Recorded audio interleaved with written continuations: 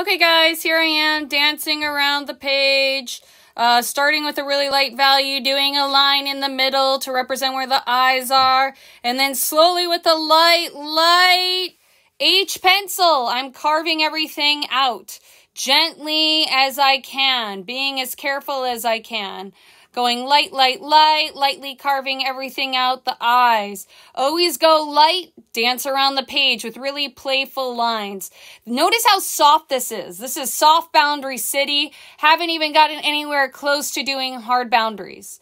Okay, kind of working in the shadow for the nose. Now I'm softening the side. Side of the nose is kind of a soft boundary, kind of a hard boundary. Putting in light hatching at the side. Dancing around, slowly carving out those lips. Notice how I'm going dark in those specific, really important corners, right? Under the dark shadows. Um, going ahead, dancing around the sides. Haven't really put in many hard boundaries yet. Biggest hard boundary, the irises, right? That is a hard boundary. That's a sudden change. Those dark pupils. Most important, second most important hard boundary, the top of the eyes. Darkening those eyelids or the eyelashes. Really darken those. So you're only doing hard boundaries once in a while. Corner of the eyes would be a hard boundary. Remember, the face is a collection of forms, right? So you got a 3D nose coming out, soft boundaries around it. 3D lips are coming out, soft boundaries behind it. Always paying attention to where that eye is, right? Now, taking a break to go ahead and now that I've solidified my biggest hard boundaries, now I'm going around, I'm softening the edge. My next big hard boundary would probably be the hair and the side of the face. So I'm carving that out before I darken it with value, a hard boundary. I'm gonna carving it out with a lighter line before I shade around the edge. Now that I got the shape right, putting in some dark shading and I'm really shading that hard boundary. Soften, soften around the side. Soft, soft around the side. Keep it soft. Okay? Shading the side of the nose.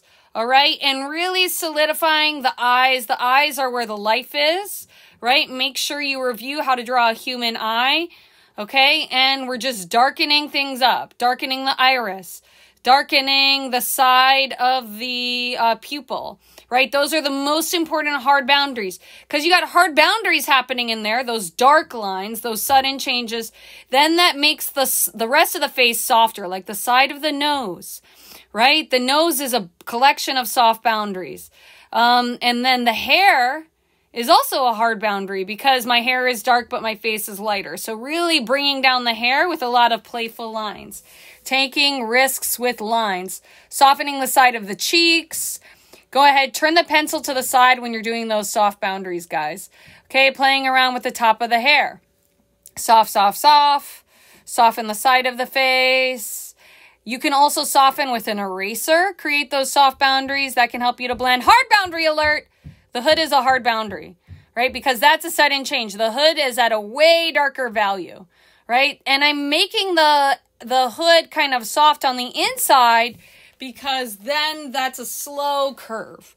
Right? So, figuring out helping the viewer to understand where the hood starts, where does the hair start, and then what are the different forms? What are their relationships? My different forms are my nose, my cheeks, my eyes, the the hood itself is a form those different values and those hard boundaries help the viewer to understand um, where different forms start and begin. Remember, the face is a collection of forms.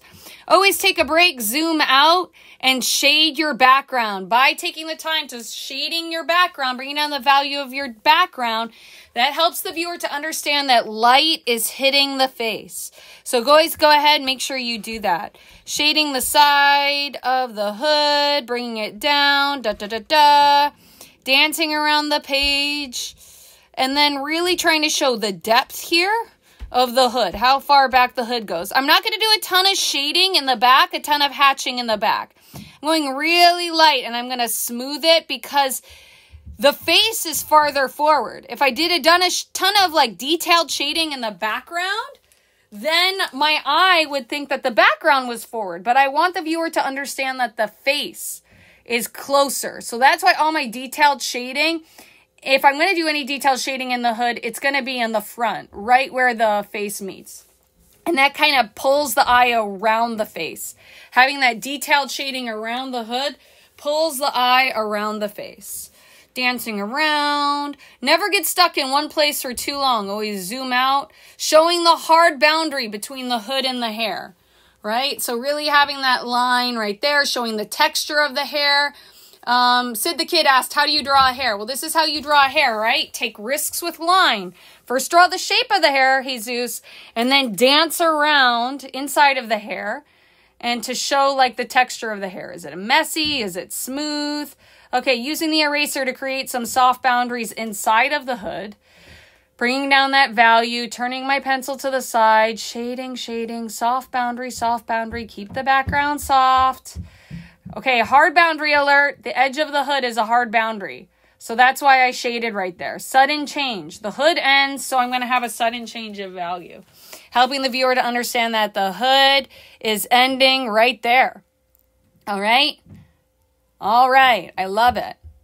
Shading, dancing around the page, dancing around the page, bringing, now I'm softening the cheeks, softening the chin, softening under the chin, all soft boundaries. Under the chin is kind of a hard boundary though to be honest, right? So that's why you see a change, but it's a soft boundary going into a hard boundary.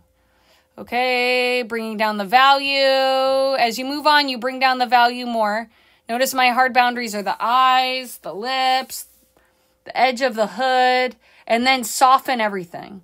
Soft city for the rest of the face right? I would say one hard boundary would be like the right edge of the nose right there. That that's probably a hard boundary, right? That's why you see a sudden change right there. Okay, darkening, darkening, darkening. Darkening, darkening, darkening, darkening, darkening. Dark city. Okay, but really soft, keeping the light value soft, always zooming out, making the hair in front of my eyes really hard. Right? Showing that my hair is getting long, quarantine city, shading the side of the hood softening. Really, always take your time, take deep breaths, softening the side of the cheek showing that the light's hitting the cheek in the front. Then take a break, go back to the background. You always want to dance between your background and your foreground. Make sure the viewer understands that's in the front. Use a tissue in the back, but don't go crazy and blend the face. Then you lose all that great hatching, all that light hatching that you did in the face to understand. So, like, make sure that you don't overblend. Okay adding some details down at the bottom, softening. That's a hard boundary. Neck, hard boundary, right? Want the viewer to see that that's the neck and that's the hood. What's the difference? That's a sudden change. Maybe softening the neck a little. I could probably add more shading in the neck, but I'm always get lost in the background. I want to bring that background down. Okay, I hope this helped.